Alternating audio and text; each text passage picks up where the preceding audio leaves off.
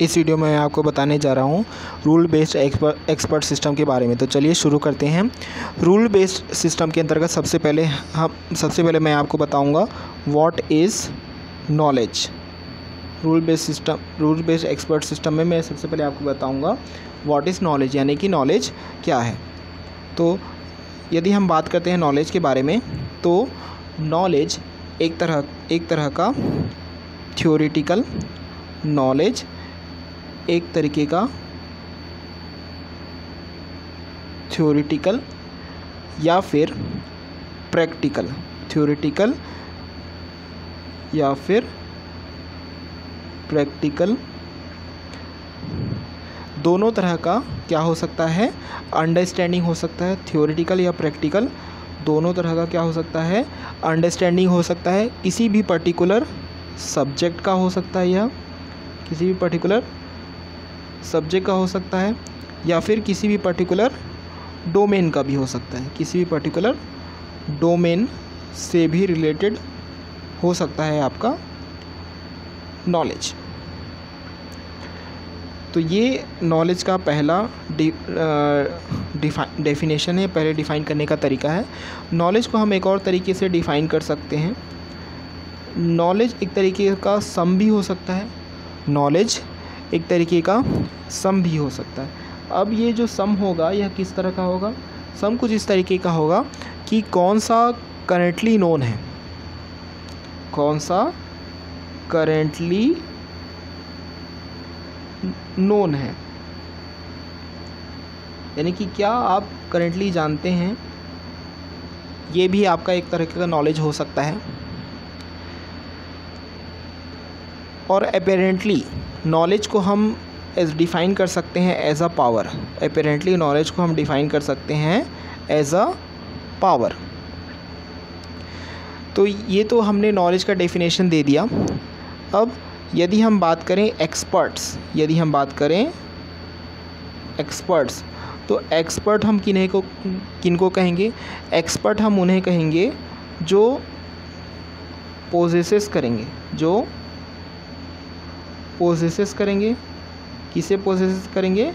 Knowledge को। ऐसे persons जो नॉलेज को पोजेसेस करेंगे, उन्हें कहेंगे हम एक्सपर्ट तो ये तो हो गया एक्सपर्ट इसके बाद एक और वर्ड आता है जो कहलाता है डोमेन एक्सपर्ट जो कहलाता है आपका डोमेन एक्सपर्ट यदि हम कंसिडर करते हैं कि डोमेन एक्सपर्ट किस तरह के पर्सन हो सकते हैं। एक पर्सन को हम डोमेन एक्सपर्ट कर सक, कह सकते हैं। यदि ही या शी जो भी है जो भी पर्सन है, उसे क्या हो? डीप नॉलेज हो। उसे डीप नॉलेज हो। अब ये जो डीप नॉलेज हो, किस तरह की का डीप नॉलेज होना चाहिए पर्टिकुलर पर्सन को? रूल्स के साथ साथ फैक्ट्स के भी। रूल के साथ साथ फैक्ट्स के भी यदि डीप नॉलेज हो तो उस पर्सन को हम कह सकते हैं नॉलेज एक्सपर्ट और इसके साथ साथ प्रैक्टिकल एक्सपीरियंस भी होना चाहिए. के साथ साथ प्रैक्टिकल एक्सपीरियंस भी होना चाहिए. तब पर्टिकुलर पर्सन कहलाएगा डोमेन एक्सपर्ट यदि हम बात करें डोमेन एरिया के बारे में, यदि हम बात करें डोमेन एरिया के बारे में तो डोमेन एरिया डोमेन एरिया क्या हो सकता है? लिमिटेड हो सकता है। डोमेन एरिया क्या हो सकता है? लिमिटेड हो सकता है। इन जनरल आप यह कह सकते हैं कि जो एक्सपर्ट है, इन जनरल आप यह कह सकते हैं कि जो एक्सपर्ट है, वो एक स्किलफुल पर्सन है। वो क्या है? एक स्किलफुल पर्सन है, जो ऐसी चीज़ों को कर सकता है, जो ऐसी चीज़ों को कर सकता है जिनको दूसरे लोग नहीं कर सकते। वो कहलाएगा आपका एक्सपर्ट तो ये अभी हमने कुछ आपको डेफिनेशन दिए, कुछ टर्म्स के बारे में आपको बताया। इसके बाद हम थोड़ा आगे बढ़ते हैं। यहाँ पर हम आपको यह बताना चाहेंगे कि जो ह्यूमन मेंटल प्रोसेस है, जो ह्यूमन मेंटल प्रोसेस है, वो इंटरनल है और इंटरनल है और इसे यदि आप, इसे यदि आप एज अ यदि आप ह्यूमन मेंटल प्रोसेस को as a algorithm as a algorithm represent करना चाहेंगे तो ये क्या हो जाएगा? ये बहुत ही कॉम्प्लेक्स हो सकता है। ये क्या हो सकता है? बहुत ही कॉम्प्लेक्स हो सकता है।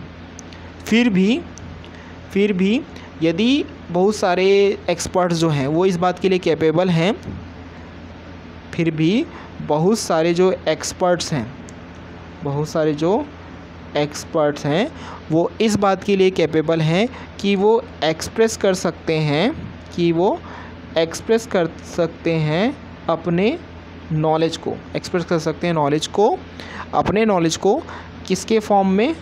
रूल्स के फॉर्म में एक्सप्रेस कर सकते हैं। यदि कोई एक्सपर्ट अपने नॉलेज को रूल्स के फॉर्म में एक्सप्रेस कर रहा है तो वो किस मोटिव से एक्सप्रेस करेगा? वो एक्सप्रेस करेगा प्रॉब्लम सॉल्विंग के मोटिव से। वो एक्सप्रेस करेगा प्रॉब्लम सॉल्विंग के मोटिव से क्या करेगा? एक्सप्रेस करेगा। जैसे कि हम, अभी हम आपको एक एग्ज़ाम्पल बताएँगे रूल्स का। सपोज़ इफ़ ट्रैफ़िक लाइट मान लीजिए traffic light if traffic light मान लीजिए ग्रीन है। ट्रैफ़िक लाइट मान लीजिए क्या है? ग्रीन है। तो हमारा जो देन वाला पार्ट है, यानी कि देन तो उसके देन से जो हमारा एक्शन है देन से जो हमारा एक्शन है, वो क्या होना चाहिए? वो होगा गो वो होगा गो अब यदि जो ट्रैफ़िक लाइट मान लीजिए रेड है, यदि ट्रैफ़िक लाइट मान लीजिए क्या है? रेड है। तो देन से जो हमारा एक्शन निकलेगा, वो क्या निकलेगा? वो निकलेगा इस्टॉप वो क्या निकलेगा? वो होगा इस्टॉप इस वीडियो में बस इतना ही। नेक्स्ट वीडियो में हम आपको बताएँगे rules as a knowledge representation technique के बारे में. Thank you